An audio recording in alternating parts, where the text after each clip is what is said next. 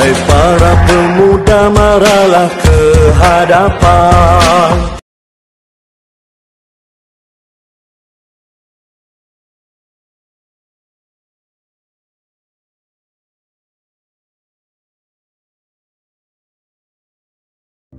Tak ha, sedap.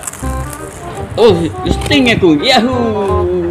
Yahoo! Hayya Salimah, you punya kondok banyak sedap ah. Bagus ah.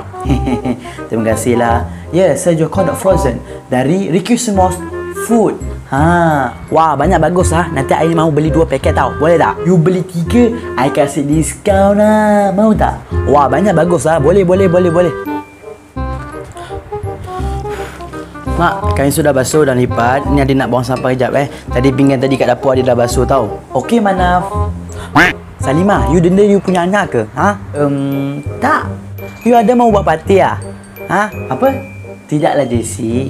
Itu Manaf ha? anak yang bagus dan rajin. Selalu tolong saya di rumah. Hmm.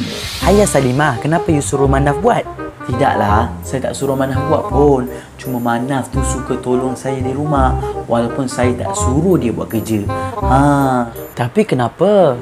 Kerana Nabi Muhammad sallallahu alaihi wasallam berkata dalam satu hadis, syurga itu terletak di bawah telapak kaki